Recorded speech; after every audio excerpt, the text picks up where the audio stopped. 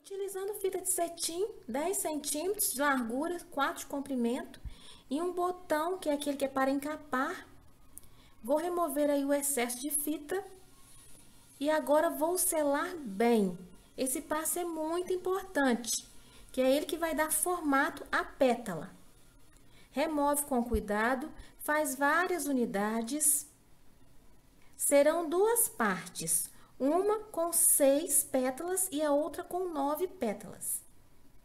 É só colar e agora unir uma com a outra. No passo seguinte, com o feltro, eu vou colocar no bico de pato, poderia ser na tiara também.